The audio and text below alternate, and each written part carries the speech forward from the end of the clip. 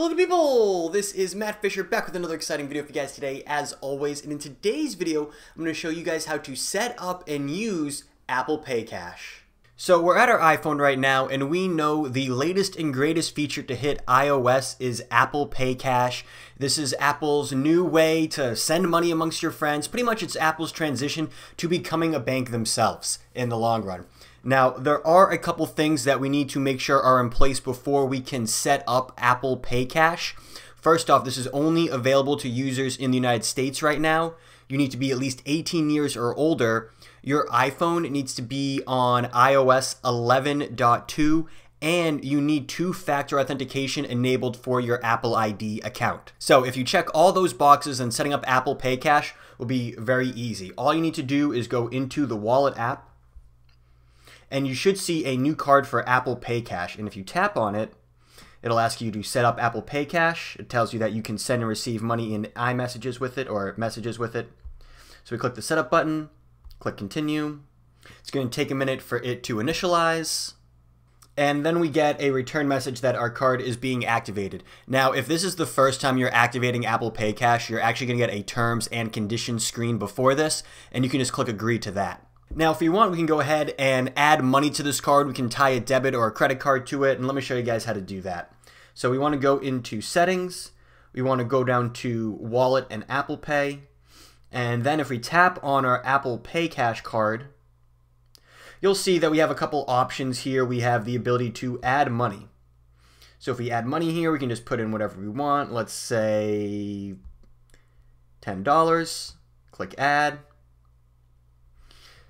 can use our pay with touch ID to confirm this payment. It's going to transfer it from my debit card over to my Apple Pay card.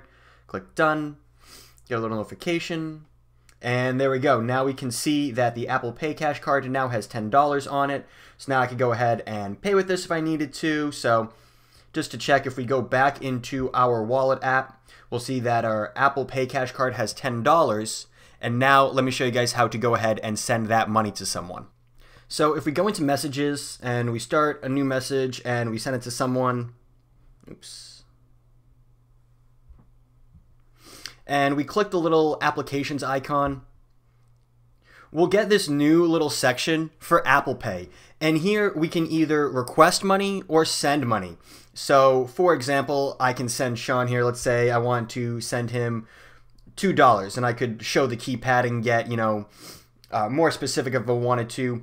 But let's say I wanted to pay him this. I could click on pay, and then I can go ahead and send this. Go ahead and send this to Sean.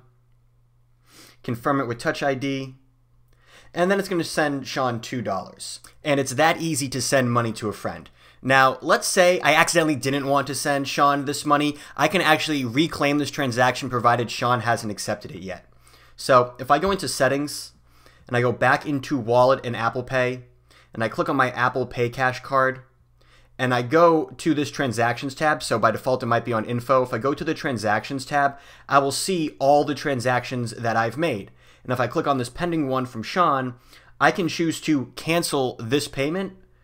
So let me just go ahead and do that and take back my $2 from Sean.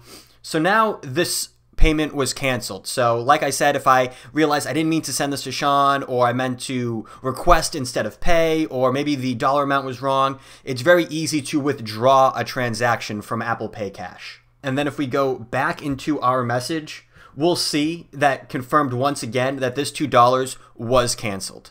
And once again, guys, that's all there is to it to setting up and using Apple Pay Cash. But that's the video that I have for you guys today. If you get stuck on any step, just drop me a comment down below and I'll do my best to help you guys out. And if you want to see more videos like this, then go ahead and click on that subscribe button and that notification bell right next to it. But other than that, guys, enjoy the rest of your day and take care.